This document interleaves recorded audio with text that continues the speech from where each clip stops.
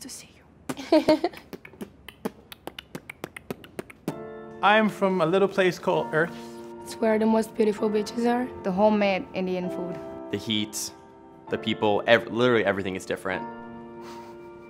The family feeling. It's just nice to like be quiet for a second and realize what you have. Having that one person that I can just call whenever. My favorite memory is him just like, just laughing.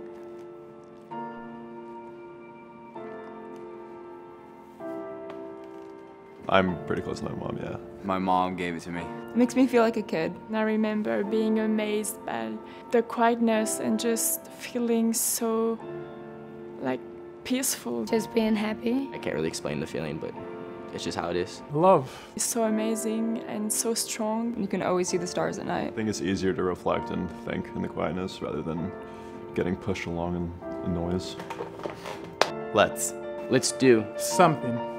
Let's fight. Let's fight poverty. Let's fight racism. Through racism. Racism. Let's fight racism.